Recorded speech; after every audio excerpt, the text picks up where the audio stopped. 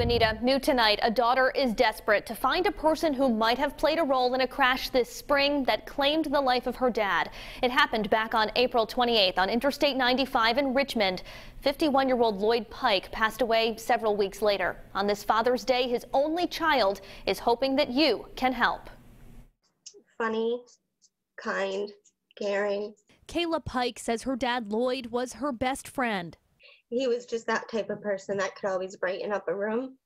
Um, you could be having a bad day, and just seeing him could make you feel so much better. The 51 year old's life cut short after a crash on April 28th. Kayla says her father's coworker was driving them home from an HVAC job.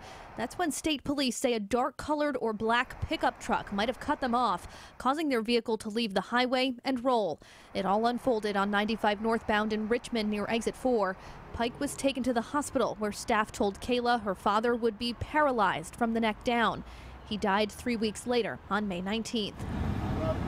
Now, Kayla holds on to the memories of her dad's love of watching funny movies with her, gardening, country music, and Hawaii. How he called her Love Bug and made sure they talked every day. Each day without him just is harder and harder.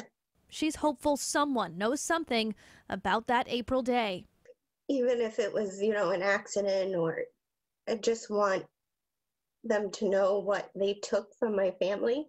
It's one second that caused a life. And he had so much more time to live. And if you have any information on that crash, you are urged to call state police at their Hope Valley Barracks. We have that number right now on our website, WPRI.com.